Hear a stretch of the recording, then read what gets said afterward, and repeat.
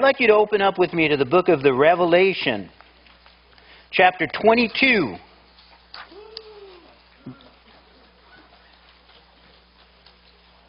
And we're going to be beginning on verse 6. When Abraham Lincoln was the President of the United States, he was attending a church service in New York City at a Presbyterian church, and at the end of the service, his friend who had brought him there said to him, Wasn't that a great message? And he said, No. And his friend said, Well, what do you mean? I thought it was a great message. And he said, There was something missing. What was that? said his friend. And he said, The thing that was missing is there was no challenge. You ever hear a, a great message given without a challenge? When we come to the end of the book of the Revelation now, it, it, it, ends with a challenge. If we looked at the last couple of weeks, we saw that, that God will create a new heavens and a new earth. And then he will create what is called, or he is creating, the New Jerusalem, which will come down from heaven, which will be the heavenly city, the capital of the new heavens and the new earth. And that is where believers will spend eternity from the Old and New Testament. Well, when we come to chapter 22, beginning in verse 6, we see that now God challenges those future citizens of the New Jerusalem, us, and God gives us a very strong challenge in His Word here in Revelation chapter 22, verse 6. it, it is a challenge of responsibility. You know, today in the culture we live in, people do not like to take responsibility. Have you noticed that? Man, if you're in a position of leadership, you know this is true. I don't, I don't care if you're leading a little league program in the local town. I mean, everywhere you go, from you know, from the church, you know, you, it's organizations, it's in the business culture. People do not want to take responsibility, you know, for their lives, and it's just so much easier to play the blame game. You know, it, it's so much easier just to justify our, our situations and our failures, or, or to just simply come up with excuses. God challenges us to take responsibility and be responsible to Him for the things that, that He has given us. So, beginning on verse 6 of chapter 22, then he had said to me, These words are faithful and true, and the Lord God of the holy prophets sent his angel to show his servants the things which must shortly take place. Behold, I am coming quickly. Blessed is he who keeps the words of this prophecy of this book. Now I, John, saw and heard these things, and when I heard and saw, I fell down to worship before the feet of the angel who showed me these things. And then he said to me, See that you do not do that, for I am your fellow servant and of your brethren the prophets, and of those who keep the words of this book. Worship God. And he said to me, Do not seal the words of the prophecy of this book for the time is at hand. He who is unjust, let him be unjust. Still, he who is uh, filthy, let him be filthy still. He who is righteous, let him be righteous. Still, he who is holy, let him be holy. And behold, I am coming quickly, and my reward is with me to give to everyone according to his work. I am the Alpha and the Omega, the beginning and the end, the first and the last. Blessed are those who do his commandments, that they may have the right to the tree of life and may enter through the gates into the city, but outside are dogs, and sorcerers, and sexually immoral, and murderers, and idolaters, and whoever loves and practices a lie. I, Jesus, have sent my angel to testify to you these things in the church. I am the root of the offspring of David, the bright morning star. And the Spirit and the bride say, Come. And let him who hears come.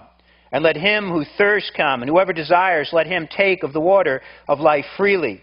For I testify to everyone who hears the words of the prophecy of this book, if anyone adds to these things, God will add to him the plagues that are written in this book.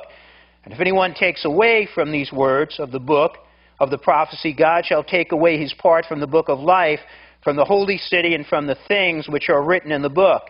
He who testifies to these things says, Surely I am coming quickly. Amen. Even so, come, Lord Jesus. The grace of our Lord Jesus Christ be with you all. Amen. Would you just bow your heads for a moment? Father, open up our hearts to your word. For, Lord, we do confess to you that your word, Lord God, needs to be understood spiritually. And without your spirit, without your anointing, Holy Spirit, we cannot grasp onto the things. They will go in one ear and go out the other, Lord God. We'll walk away without grasping onto one single thing in your word. So, Father, illuminate our minds through the Spirit. We humble ourselves and we confess to you, Lord God, that we need you to teach us. And Lord God, let your word sink into our hearts and let it produce forth, Lord God, 30, 60, 100 times what is sown today. For your glory and for your honor, we pray this in Jesus' name. Amen. amen. So again, the title of the message is The Final Challenge. And we have the final challenge of the book of the Revelation. Again, what we looked at, we saw that God in chapter 21 creates the new Jerusalem. We also looked and we saw that we looked at the citizens of the new Jerusalem. And now again, we come to a challenge to these future citizens of the New Jerusalem. And this morning, what I'm going to do is I'm going to look at two things. Next week, I'm going to look at two more. And then we're going to wrap up the book of the Revelation next Sunday. And I'm going to get into a series uh, over the course of um, the Christmas holidays called The Miracles of Christmas. And there are many miracles of Christmas. And they're things that we can be taking into our life and we can experience the blessing of those miracles. And then come in January, I'm going to start on the Gospel of John. And just as we've gone through the book of the Revelation, I'm going to take you through verse by verse the Gospel of John, the universal gospel for all people, Greeks, and for Romans, and for Jews, and for men and women of all ages. And we're going to study the book of John as we go through next year. So, what I'd like to look at first here responsibility again of keeping the Word. And what you have here is, and it's really a, a beautiful passage, you have the living Word, Jesus Christ. And here he is magnifying the written Word. And he is challenging us to, to be a people who build our lives upon the written Word of God. Now, I want you to, to look, I'm going to break this down here, and I'm going to look at, at five things. Responsibility of keeping the Word. The first thing I want you to look at is the faithfulness of the word. Look at verse 26. Then he said to me, These words are faithful and true, and the Lord God of the holy prophets sent his angels to show his servants the things which must shortly take place. I want you to look at the words faithful and true. Do you understand what the Word of God is saying there?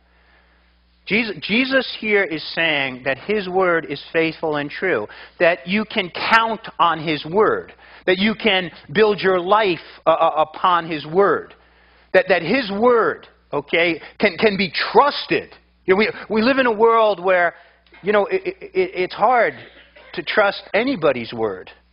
I mean, you, you, you look at, at, at, people, I mean, whether they are political leaders or business leaders, you look at religious leaders. I mean, you know, who can you trust? Well, Jesus is saying here that, that my word is faithful, my word is true. Now, some of you who, who are new to the Word of God, you may be sitting there and go, well, how, you know, how can I, you know, trust it? What makes, what makes this book any different than, you know, any other book? What makes it different than the Quran? Or what makes it different than the Eightfold Path of Buddha? What makes it different than the writings of, of Socrates or, or Seneca or, or any other philosopher? What makes it different? How can we know that this is the Word of God? I want to give to you just one key thing here. And there are many. You can, you can look at, at things like harmony, and if you've ever heard the argument, people will say, well, you know, what, how can you believe in that book? You know, that, that book. Well, actually, it's really not a book. It's 66 books written over the course of 1,500 years by 39 different authors. And there is a harmony and a flow uh, through that. And the authors, many of them did not know each other. They were writing over the course of, of a, uh, you know, a thousand year span. Yet you see a continuous theme, and the book reads like uh, there's one author. So though John may have written, or Peter, or Moses, or Samuel, or Joshua, or Isaiah, or Ezekiel, there's a, there's a flow there. And that's a strong argument for, the, again, the divine inspiration, but I believe there are others. In fact, we're going to do, as we look, starting in a couple weeks, at the miracles of Christmas, we're going to look at some of the miracles that are revealed in the Gospel of Matthew. And uh, I'm going to show you some things and really that, that will put you in a place where you cannot deny that there is some type of supernatural origin in the Scriptures. And we will look at things from a mathematical standpoint. So there's the harmony, there's, there's mathematical evidence, there's archaeological evidence, but the greatest evidence for the authenticity of the Scriptures is prophecy. Is prophecy. And in fact, the, the, passage, if you look at, at verse 6, it, it's basically saying that just as the Jews accepted the Old Testament as, as prophecy, the writings of, of Isaiah or the writings of Micah, the writings of Ezekiel, they accepted that as prophecy, as holy writ. They called it scripture. The, the, the word scripture means holy writings. And the Jewish people, when they called the Bible scripture, scripture they were referring to it as, as God revealed to the writers in a very unique, inspirational way His Word, and then they wrote it down without error. That is, that is Holy Scripture. Well, here in this verse, the book of the Revelation is being connected and being presented here as being Scripture. That it is inspired, that it is the inerrant Word of God, without error, the Word of God, just, just as you have, okay, in the Old Testament. But again, you may be sitting there and saying, okay, great. Well, it, it, so, so it's saying that it's the Word of God. And if I stand in front of you and I say I'm a watermelon, does that make me a watermelon? You may be saying, my head looks like a watermelon. And you're saying, there goes that egghead again. But no, no, outside of that, okay, just because somebody says there's something or something says that it's something, does that make it something? And again, we, we come back to this concept of prophecy. There are 8,000, over 8,000 verses, okay, and you have about 32,000 verses in the Bible. 8,000 of them are devoted to prophecy, to predictions of things that are said would happen. There are over 900 prophecies in the entire Bible, 900 of them. And when you begin to look at, at, at prophecy, okay, we, we begin now to, to have an acid test. If the Bible predicts something and it's not true or it doesn't come true, then we would say that the Bible is false. In fact, the Bible actually gives us that as a criteria to testing different predictions that people make. In Deuteronomy 18, God spoke to Moses and said, If a prophet comes along and predicts something that doesn't come true, they're a false prophet. You know what he said to do to them? Again, in the Old Covenant, they would keep the, keep the, keep the population pure, take them out and stone them. If a, if, if a prophet comes, now, we're living in a different economy right now. We're living in a different time. That was, that was specific to the Jewish people at a specific time. Jesus doesn't want us going around stoning people. Okay? He said, love your enemy. Okay? Love them. You know, do good to them. Pray for them. But, but what do you do with people who come along and make all kinds of predictions that don't come true? So Nostradamus.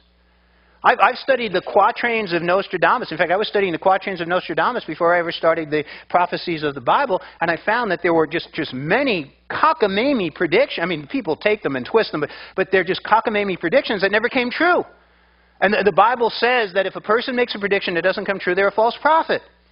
If you remember Jeane Dixon, in 1958, and Jeane Dixon predicted many, many things that never came true. You know what she became famous for? She predicted that J.F. Kennedy would be killed. Probably in that same year, she, she made a few predictions that came true, and there were about hundreds and hundreds and hundreds of them that didn't come true. But she predicted that in 1958, China would nuke the United States and annihilate us and take over the world, and that didn't happen. So the scriptures, again, says that she's a false prophet. Harold Camping I was amazed at how, how many people were, they were, I mean, that, that night we went out to dinner and we, when we were talking with people who wouldn't go out to dinner that night, who were staying home, who brought the kids in the house, who were huddling together, waiting for the end of the world. We even had a, a friend of mine here, very, very successful and wealthy guy in the next town, very successful guy, multi, multi millionaire, who was terrified that it, the end of the world was coming. He was studying with Harold Camping. Well, you know what? He predicted it, what, three times? And it didn't happen. I would say that the Bible makes it pretty clear. He's a false prophet. And then you have the, the Mayan prediction, which is December 21st, which is my birthday. so I'm having a big party on the 20th. Everyone's invited. And uh, so that the next day when we're, when we're all in night, there's another prediction. And you see people, they're, they're walking around. People are really shaken up by this. You know, it's amazing. You know, I, I, it, it used to be that you'd find these programs on these things on National Geographic or Discover. Now, now they're on ABC, NBC, CBS, Fox, CNN. I mean, it, just the other night we were sitting at home. There was one running on, on, on CNBC, and there was another one running on Fox about, you know, they just people are, are preparing for the end of the world with the, the, the Mayan calendar, December 21st. I'll be here on December 22nd, I assure you. Okay? I'll be here on December 22nd. You know, you know why? Because I, I know what the, the scriptures teach. Now, now, you may be sitting there and going, well, well, what prophecies? What prophecies are there? look, there, there are over 900 of them. But just to, just to take the question that people ask me, what do you think is the greatest modern day prophecy that has been predicted? Israel. I just want to just say Israel. And, and the, the, Bible predicted that the Jewish people would come from the north, south, east, and west in the end times and be regathered in Israel. By the way, the Jewish people were dispersed throughout the world, what's called the diaspora, in 70 AD. The Roman legions entered into Jerusalem. They crucified and killed 1.1 million Jews, and they were dispersed throughout the world. They leveled the city just as Jesus predicted, fulfillment of another uh, prophecy. The temple would be totally laid to the ground, bare, you know, destroyed.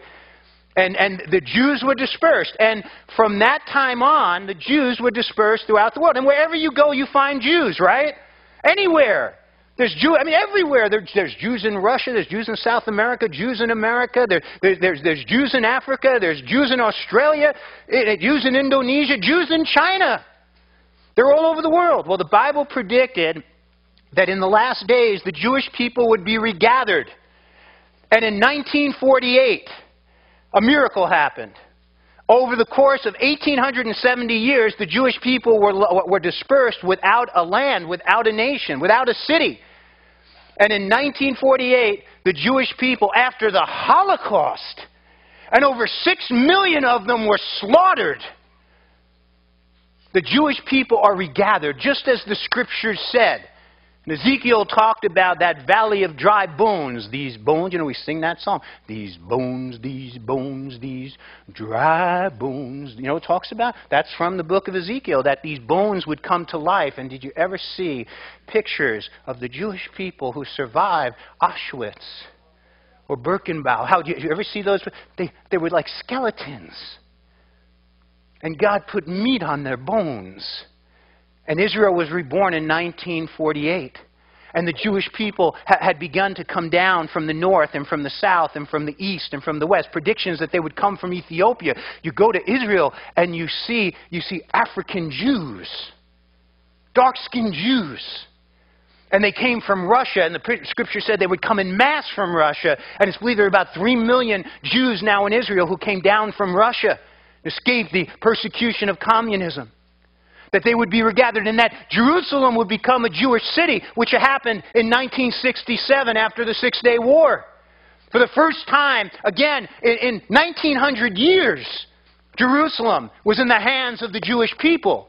And that the Hebrew language, which was lost, the Hebrew language of the Tanakh was lost. And there has never been a lost language that was regained. But miraculously, just as the scripture said, the Hebrew language would be, again, resurrected as it was in the time of Jesus and, and before in the time of the prophets. And the scripture says that all of this would be happening in the midst of war, in, in the midst of battle. You know, and people say, well, look, Israel was about to go to war with, with, with the, you know, the, the Palestinians. Israel has been at war since 1958. There has been a continuous declaration against Israel of war.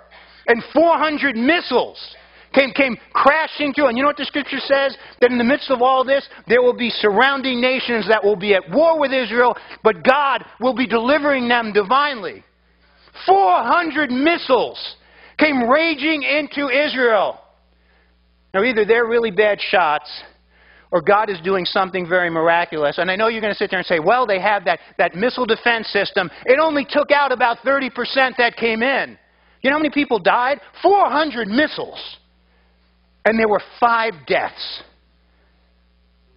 I know other people say, well, you know, you see, if, if America, if America doesn't come to the aid of Israel, eh, they, they're going to get destroyed. You know what? That's nonsense. You think God needs America?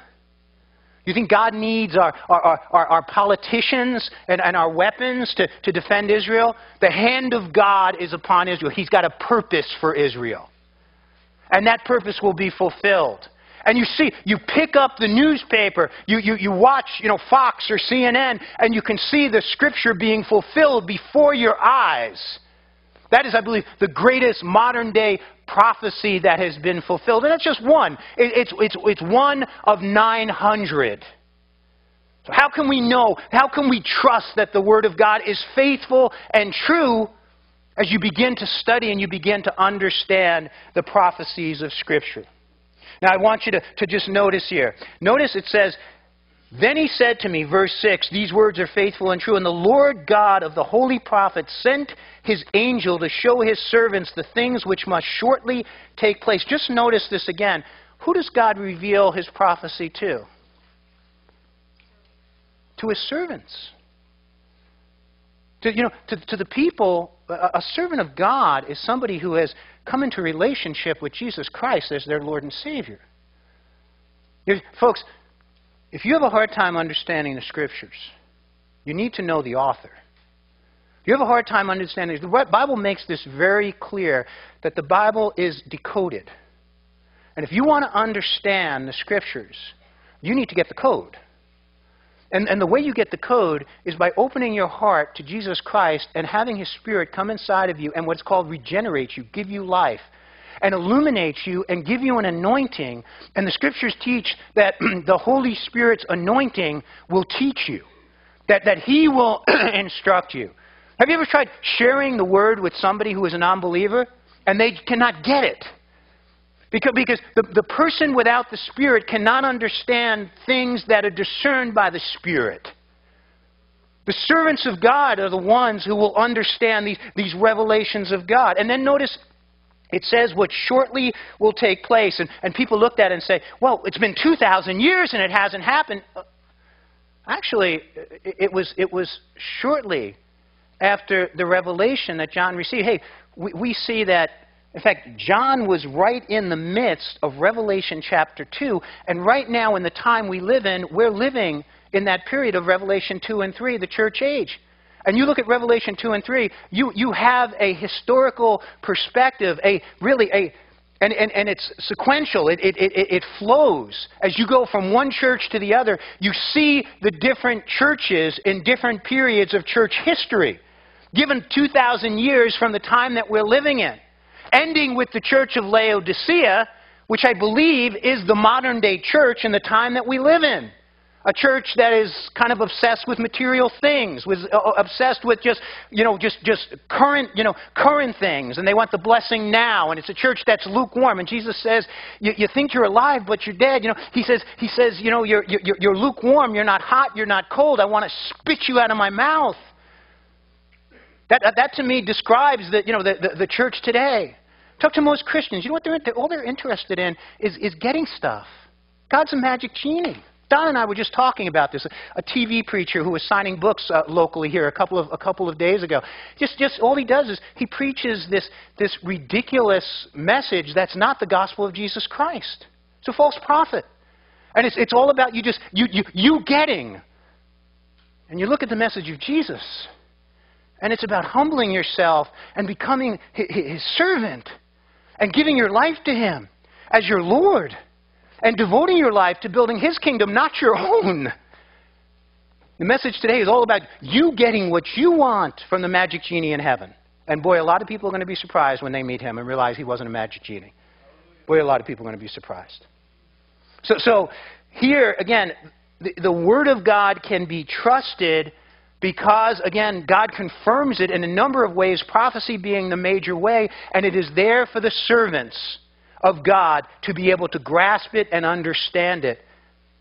Now, the second thing I want you to look at the blessing of the word. Look at verse 7.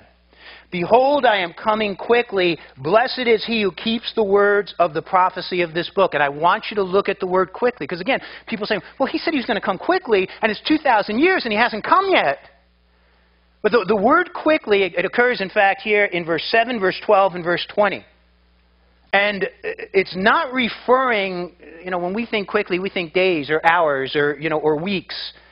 But the, the idea here is once it begins to happen, it's going to happen speedily. It's talking about once Jesus, you know, once this, this prophetic, this prophetic scenario begins to play out, it's going to happen rapidly. It's going to, it's going to happen very quickly. It's going to be rapid succession. Think about this. The church age, okay, we're at 2,000 years right now. The book of the Revelation, when you get to chapter 6, you have the beginning of the tribulation. From chapter 6 to chapter 19, the tribulation occurs. How many years is the tribulation? Seven years. Think about it. Chapters 2 and 3 take thousands of years to fulfill. But once this, the prophetic scenario begins to play out, Jesus comes and raptures his church, then it's like rapid succession. You have, you have the, the seal judgments, the trumpet judgments, the bowl judgments, and the Lord returns. And I believe that's what the reference here is to, to quickly, that there will be this rapid succession of things that happen. Now notice the blessing. And we have here the sixth blessing, okay, in, in the Word. The book of the Revelation has six bless, uh, seven blessings. This is the sixth. And notice, who is the blessing for? Those who what? Who keep the Word a blessing upon us. That God, God promises this supernatural blessing upon those who keep the word. And we immediately think of, of okay, that means if I obey the word, I'm going to have this, this blessing upon me. And that's true. In fact, I'll say this to you obedience to the word will bring security into your life. Just, just there's certain laws and principles. If you violate them, even the laws of the, of the town, of the, of the state, of the government, if, if you go out and you decide that, hey, you know what, think of it like this. Think of the lights coming here to church. And when you come to a red light, what does that mean you should do? Good. Because when I'm driving around, there are a lot of people who don't realize that. And when you come to a green light, what should you do? Go. And yellow light, you should be. You know, that, well, you're, the, you're what I'm talking about. So when you, when you come to the red, you stop. Now think of this. What if you decide, hey, you know what?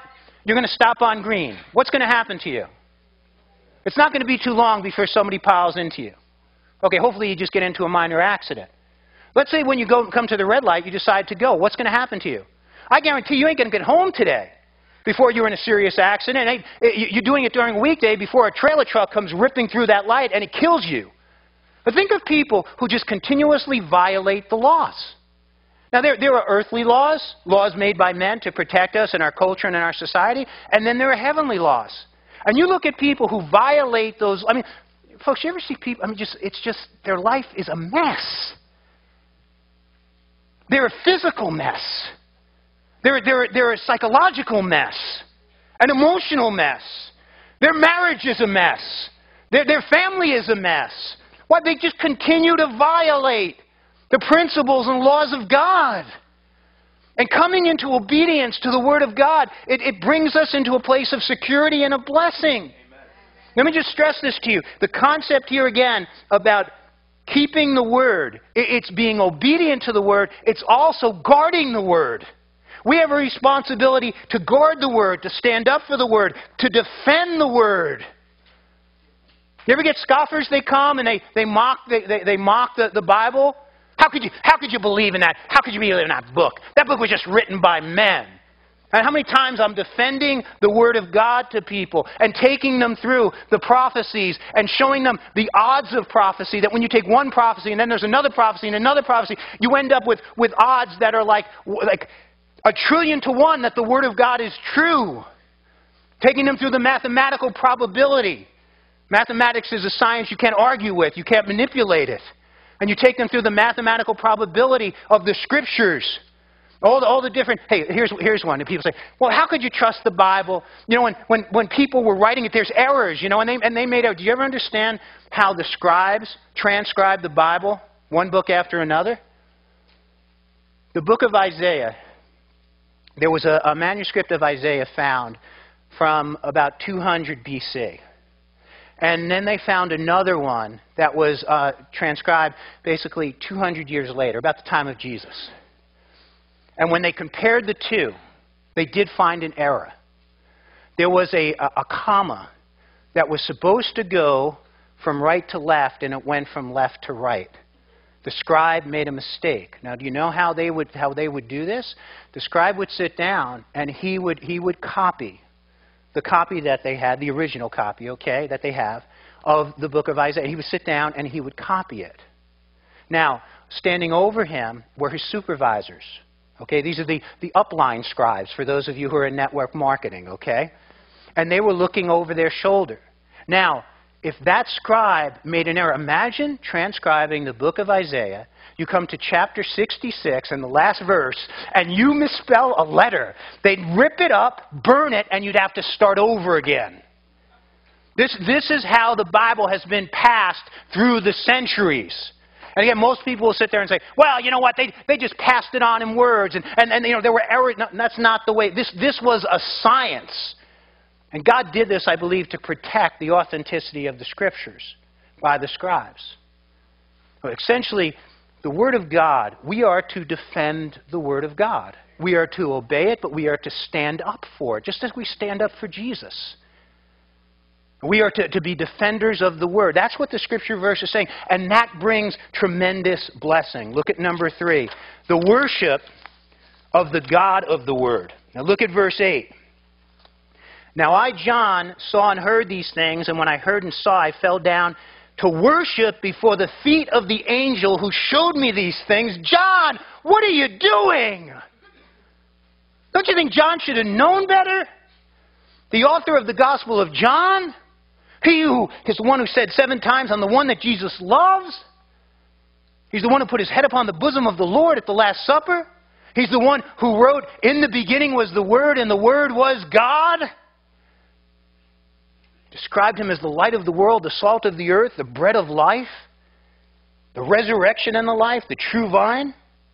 And he falls down before this angel. And notice what the angel said in verse 9.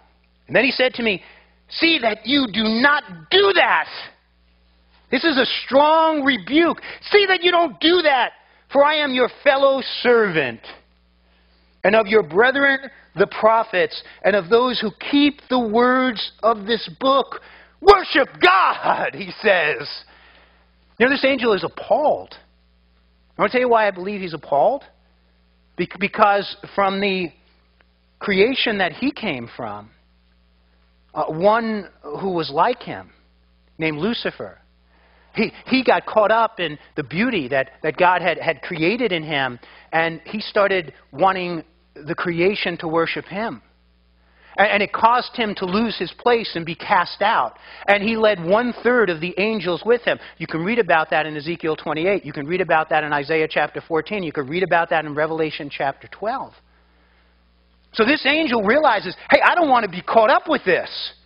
Don't worship me, worship God. And here's a great and important word for us all. Hey, the worship of anyone but God is idolatry and blasphemy. The, the worship of Mary, of an apostle, of an angel, of any other man, or a Nephilim. If you don't know what Nephilim are, you've got to read Genesis chapter 4 and 5. The, the worship of any of these other things is blasphemy and idolatry to God. We're not to worship mankind. We're not to worship creation. We're to worship the living God.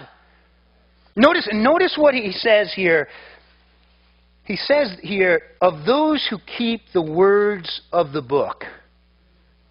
Notice, I just want you to see this. See that you do not do that, for I am your fellow servant, and of your brethren the prophets, and of those who keep the words of this book. You know, Satan was a believer. You all know that, right? You ever see people say, oh, yeah, yeah, I believe in God? Satan believes in God. Satan believed in Jesus. He believes in Jesus. He believes that Jesus is the, the Lord and, and, and the Savior of, of mankind. He believed that Jesus did miracles. He believed in the miracles. He believed Jesus was raised from the dead. Was he a believer? No, no, he's not a believer. Because when you, when you understand what a believer is, because that's a, see, what, what a lot of people think today is, oh, I'm a Christian. I believe. Yeah, I believe, I believe in God. I believe in Jesus. I believe was raised from the dead. Yeah, I believe, I believe in all that. But all it is is mental assent. And that is not what the word believes. The scriptural word for belief is pistos. And pistos was a word that that's a, it was an embracing of the truth that brought change, radical change. Don't you notice when you read the Gospels that the calling of Jesus upon people's lives and those who truly followed him, it was radical and it was radically different? I mean, I, I noticed this. Look, I was an atheist. I, had, I didn't want anything to do with Christianity. I saw, I saw so much hypocrisy in Christianity. I wanted nothing. Then I became a Christian. I saw more hypocrisy in Christianity. But, but when, when I became a Christian, one thing that hit me as I began to read the Gospels, and this is what captured me, because I didn't see this in people's lives who claimed to be Christian around me. You know, people who claimed to be Christian, and, and, and there was nothing Christian about them. Where, where, was the radical transformation? Where was the change? Where was the, the servant's heart? Where was the lordship of Christ? Where was discipleship? And, and when I began to study the Gospels, I began to see Jesus called people to a radical faith. It wasn't, it wasn't easy beliefism. It was, it was a radical change, a radical embrace of Jesus Christ as the Lord and Savior. Satan, Satan believes. Satan believes again in God. He believes in Jesus. He believes in the miracle, believes in the resurrection. But he's, he's not a true believer. A true believer, they, they believe that Jesus is God and they surrender to Him as God. They believe that Jesus is Lord and they commit their life to following Him as their Lord. They believe that Jesus is their Savior and they humbly submit themselves to Him as their Savior. The worship of God in the Word, of the Word. The fourth thing I want you to look at the relevance of the Word, verse 10 and 11. And he said to me, Do not seal the words of the prophecy of this book, for the time is at hand. He who is unjust, let him be unjust still. He who is filthy, let him be filthy still. He who is righteous, let him be righteous still. He who is holy, let him be holy still. And notice again, I, I use this term, the relevance, because this is a book that is relevant to our time. Don't seal it up. You know, God told Daniel to seal up the prophecy in the book of Daniel, chapter 12. Why? Why is Daniel told to seal the prophecy in Daniel chapter 12, but here John is told not to seal the prophecy? I'll tell you, because Jesus hadn't come. He hadn't been crucified, hadn't been raised from the dead. We, we live in, a, in, an economy, we live in a time that is extremely relevant. I believe we live in a time right now that is, that is, that is key.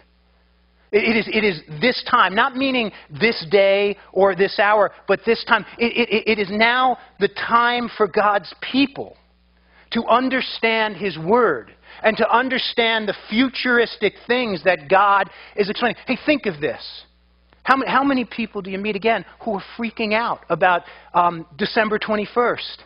How many people do you see who, you know, I mean, people coming up to me all the time, hey, that hurricane, you know, hey, what's going on in this world? You know, it seems like we're, we're, we're, something's going on. There's something, there's something that, that's happening in the entire world. Hey, I heard that the Bible said this or that, and they're freaking out. You know, we're not to be freaking out. We're to understand the futuristic things. We're not, we're not to be living in, in, in fear. We're, we're, to be in a place where, where God has revealed to us very clearly His timetable and to how things will be happening.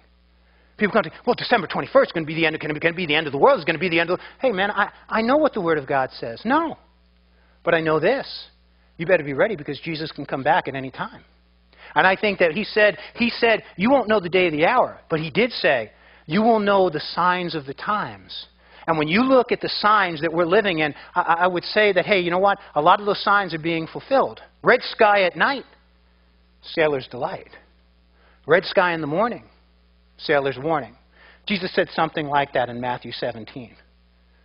And he said that the scribes and Pharisees, they could interpret the sky, but they couldn't interpret the signs of the times. Through the, through the, power of the Spirit, we can interpret the signs of the times. And then I want you to notice the last thing here, the fifth, the warning of the word, verse 18 through 19. For I testify to everyone who hears the words of the prophecy of this book, if anyone adds to these things, God will add to him the plagues that are written in this book. And if anyone takes away from the words of this book of this prophecy, God shall take away his part from the book of life, from the holy city, and from the things uh, which are written in the book. And you know what you have here? A very simple test a test of uh, addition and a test of subtraction. Anybody who adds to the book. You ever, you ever see people, the Bible's not enough?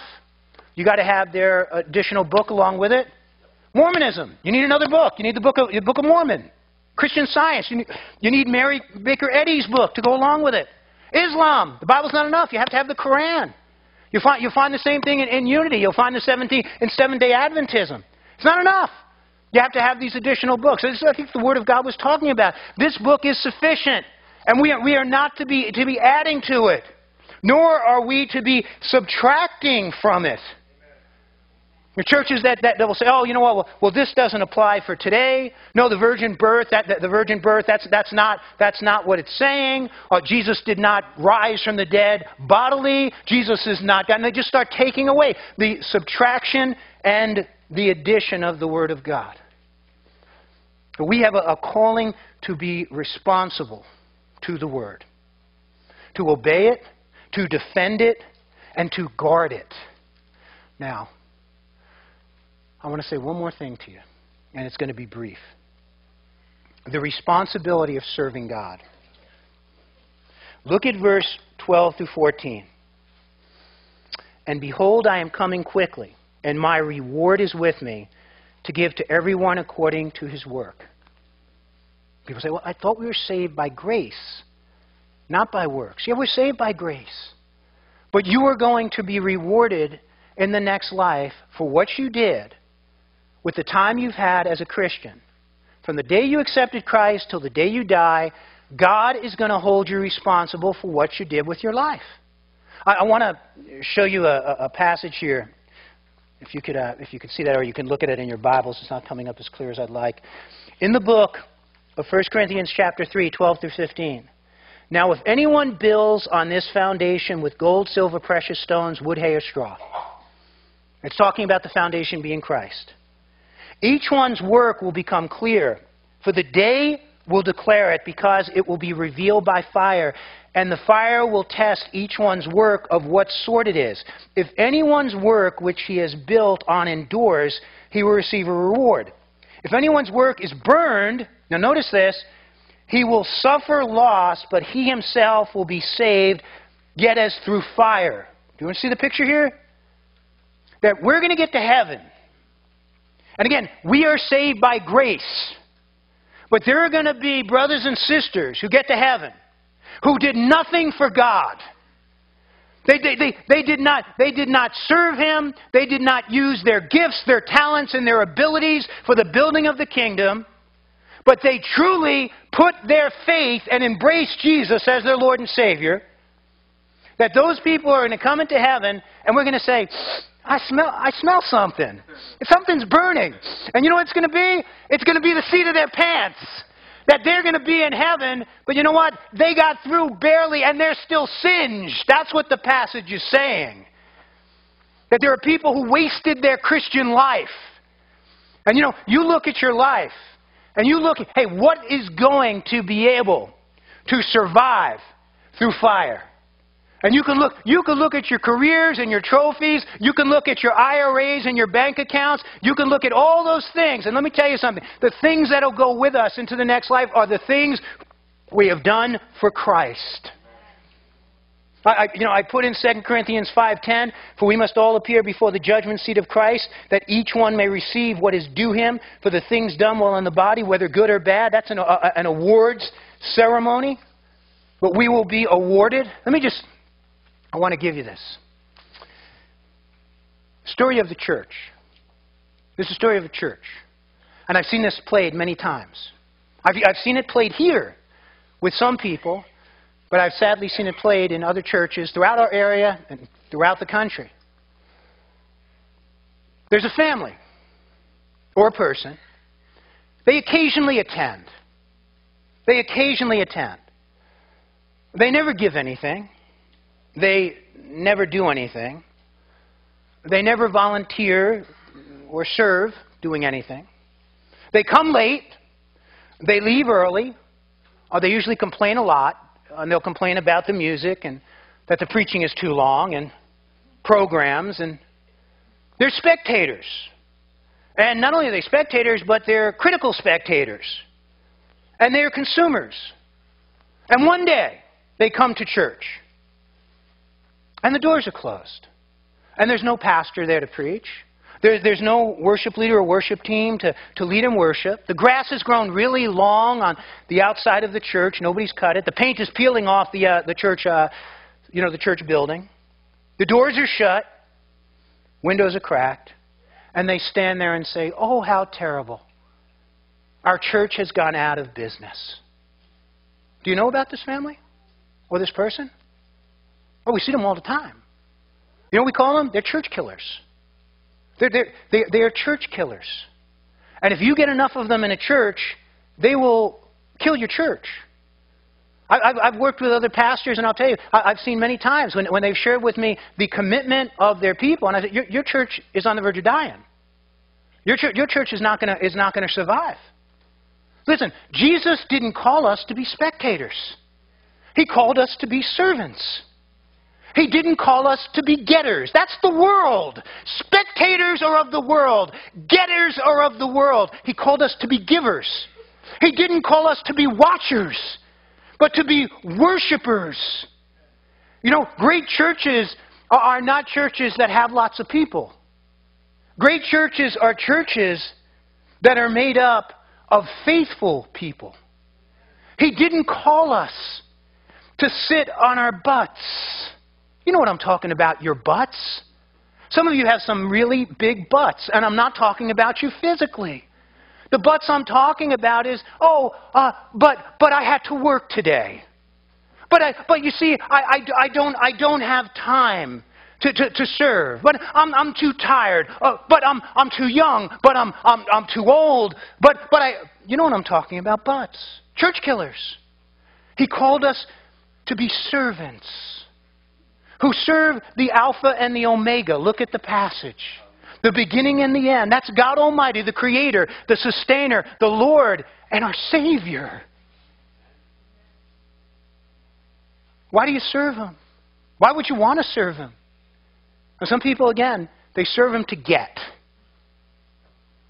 That's not a good reason to serve him. Some people serve him out of grim duty. We don't need those kind of servants. Paul said, The love of Christ compels me. The love of Christ compels me. The love of Christ compels me. For he died for all. And therefore I lay down my life for the one who died for me. The, the only reason to, to serve him is because he hung there six hours one Friday, taking all your filth, all your sins, all your evil upon himself, so that you could stand before God as an innocent child and God can see you as though you've never sinned. That's the reason to serve him. Hallelujah. The final word. Two little lines I heard one day, traveling along life's busy way, bringing conviction to my heart and from my mind would not depart. Only one life, twill soon be past, and only what's done for Christ will last. Only one life, yes, only one. Soon will its fleeing hours be done. Then in that day my Lord to meet and stand before his judgment seat. Only one life, Twill soon be past. Only what's done for Christ will last. Only one life, the still the small voice, gently pleads for a better choice, bidding me selfish aims to leave and to God's holy will to cleave. Only one life, twill soon be past.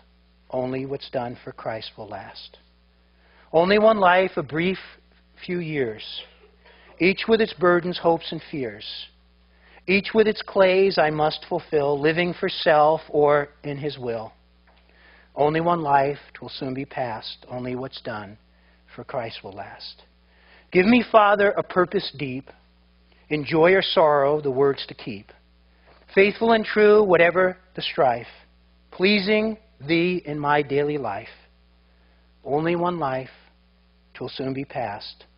Only what's done for Christ will last. Oh, let my love with fervor burn, and from the world now let me turn, living for thee and thee alone, bringing thee pleasure on thy throne. Only one life twill soon be past. Only what's done for Christ will last. Only one life, yes, only one. Now let me say, Thy will be done. And when at last I'll hear the call, I know I'll say 'twas worth it all. Only one life, 'twill soon be past. Only what's done for Christ will last. That will be a reality in each and every one of our lives very soon. Let it be a reality of joy and of splendor because the life we lived, we lived for Christ. Amen? Let's bow our heads and close.